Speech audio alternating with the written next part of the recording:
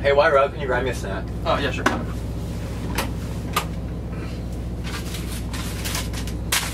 What is this? A snack. No, it's not. Yes, it is. No, it's not. Yes, it is. No, it's not. Yes, it is. No, it's not.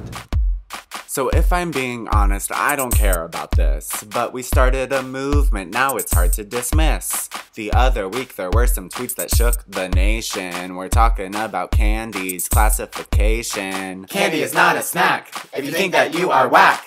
Candy is not a snack. If you think that you are whack. Candy's not a snack, so we made this track to inform you that if you think it is, you are whack. Candy is not a snack. If you think that you are whack. Candy is not a snack. If you think that you are whack.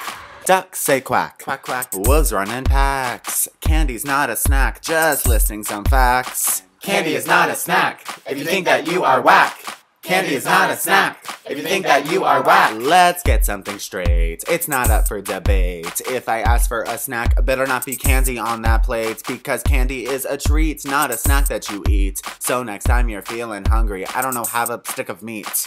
Candy is not a snack. If you think that you are whack.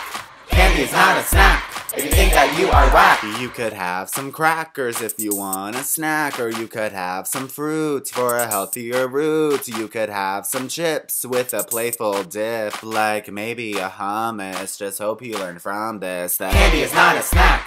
If you think that you are whack. Candy is not a snack. If you think that you are whack. Candy is not a snack. If you think that you are whack. Well, there's that. And now for a blooper. You are whack.